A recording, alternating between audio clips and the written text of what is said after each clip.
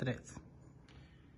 Muy buenas tardes, hermanas y hermanos. En esta ocasión quiero dirigirme a los fieles cristianos laicos y a todos los hondureños de buena voluntad.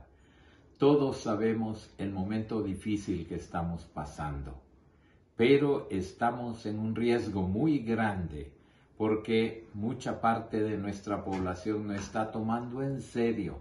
Este virus es mortal y se transmite con mucha facilidad.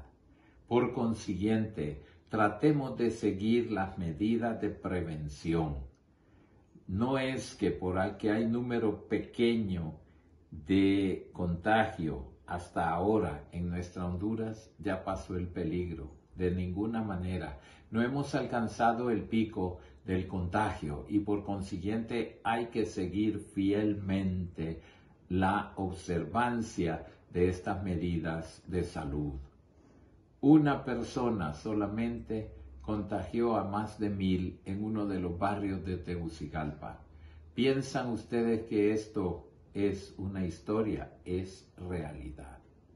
En segundo lugar, queridas hermanas y hermanos, y hablo especialmente a las personas que guían la empresa privada y las grandes empresas del país, es el momento de la solidaridad. Me preocupa que se piense, bueno, no tenemos ganancias, cerramos y despedimos personas. Eso es preparar mayor problema para el futuro. Ahora toca el momento. Si van a disminuir algunas ganancias, puede ganar la población entera cuando estamos mitigando un gran sufrimiento social. Todos pongamos parte en aquello que podemos ser solidarios para ayudar a quien menos tiene, para ayudar a aquellos que no teniendo trabajo, y no teniendo manera de llevar el alimento a sus casas, van a poder desesperarse. Y pensemos en la tercera edad, como nos dice el Santo Padre. Aquellos ancianos y ancianas que no tienen quien, encuentren en el barrio, en las familias, quien les puede ayudar.